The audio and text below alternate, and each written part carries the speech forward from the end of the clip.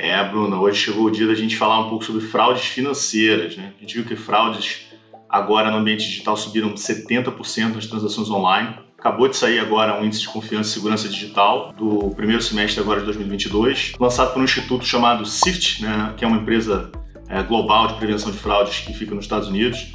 Esse aumento aí, esse acréscimo de 70% na taxa de, de ataques de fraudes para pagamentos de fintechs, né, são as, as transações que foram efetivamente bloqueadas no total das operações das empresas. Né? O que dá para ver aí é um proxy né, para você ver o aumento que foi verificado. E aí é importante a gente saber né, quais têm sido os principais targets, né, quais têm sido os principais alvos. Primeiro de tudo, está totalmente focado nos pagamentos de modalidades alternativas. Né? Primeiro, é, o cliente preferencial foi é, carteiras digitais, com aumento de mais de 200% nas fraudes né, em 2021.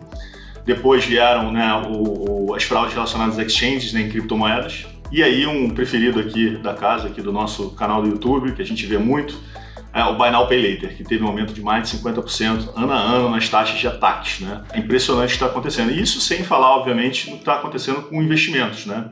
A gente viu também é, um número de scams, né? um número de, de fraudes relacionadas a investimentos criptográficos muito grandes, né? um volume grande né, de, de, milhões de dólares perdidos né, em investimentos que foram, na verdade, esquemas.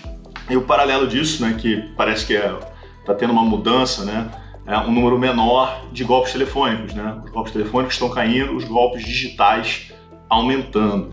A gente até falou sobre isso aqui, vai aparecer em algum lugar, né, sobre Buy Now Pay Later. Acho que no cenário dos Estados Unidos, né, que eles estão que eles estão se acostumando com essa modalidade que no fundo ali é um parcelamento, né, o crediários que tudo que é muito novo fica mais suscetível à fraude. E aí vocês podem fazer isso, acompanhar, continuar acompanhando aqui com a gente, então se inscrever no canal, ativar o sininho, porque vai ter sempre mais conteúdo sobre isso por aqui. E até semana que vem. Tchau, gente.